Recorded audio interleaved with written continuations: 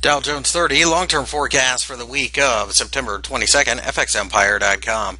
The Dow Jones, as you can see, broke much higher during the course of the week.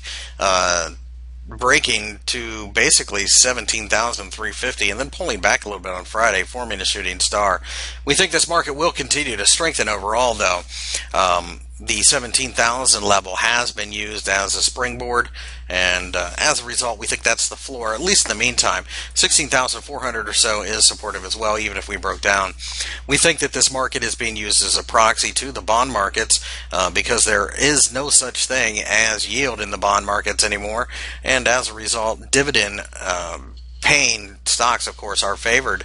And quite frankly, the Dow is the place for dividend paying stocks. So we think that the Dow will continue to gain every time it falls, finding more buyers to step in and push the market even higher. This marketplace is one that we have absolutely no interest in selling.